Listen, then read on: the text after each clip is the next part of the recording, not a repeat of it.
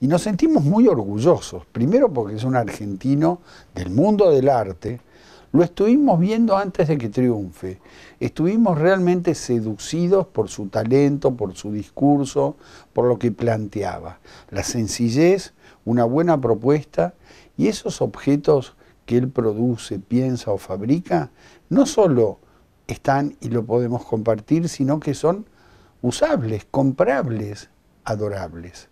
Nos vamos con alguien que acaba de triunfar nada menos que en Art Basel.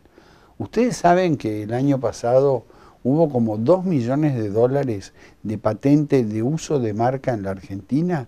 Bueno, quizás este sea el retorno, el triunfo de un argentino en Art Basel.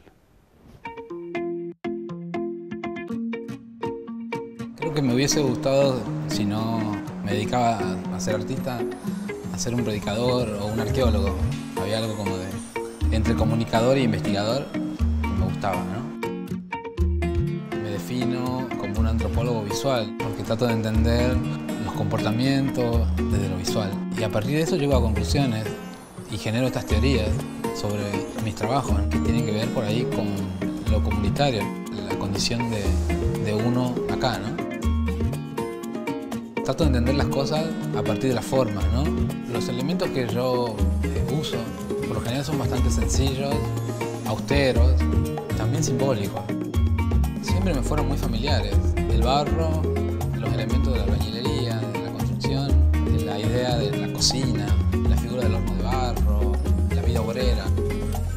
Últimamente utilizan mucho el ladrillo y el huevo, dos formas potenciales, una vida y el otro una cultura. Yo no tuve mucha influencia artística en mi casa, así como académica, pero mi familia siempre fue como muy artesana, vinculada mucho a, las tareas manuales. Yo tengo un vínculo bastante fuerte con Tucumán, tiene mucha historia, una resistencia indígena de las más fuertes que hubo. Entonces, eh, creo que de alguna manera eso